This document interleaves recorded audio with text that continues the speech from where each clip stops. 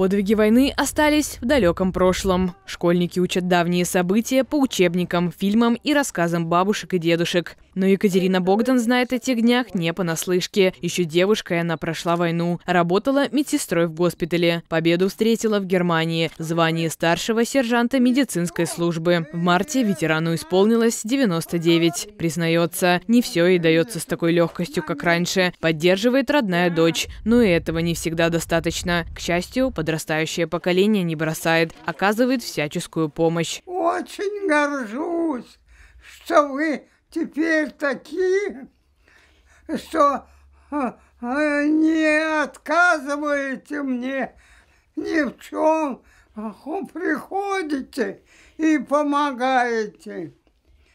Э, э, любите свою родину, Ребята из медицинского колледжа понимают, как важно уделять внимание ветеранам войны. Это меньшее, что можно сделать для героя. Городской союз молодежи регулярно подставляет плечо. Зимой фронт работы снег, весной трава и огороды. Даже самая малая помощь здесь на вес золота. Мы постоянно оказываем помощь ветеранам, участникам Великой Отечественной войны а, по наведению порядка в домах и на дворовых территориях. Нам очень важно не оставить ни одного из них без внимания. Чувство долга а, вело их к победе, и такое же чувство руководить сегодня молодежью по отношению к этим уважаемым людям.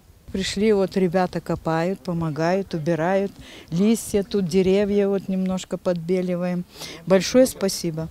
У нас растет хорошая смена. Помощь здесь взаимная. Общение со старшими идет только на пользу. Кто-то узнает про растения и цветы, кто-то учится сажать рассаду, а кто-то вдохновляется историями из молодости. Но без сомнения в каждом шаге здесь связь поколений. Карина Гуревич, Дмитрий Шевцов, Бобруйск, 360.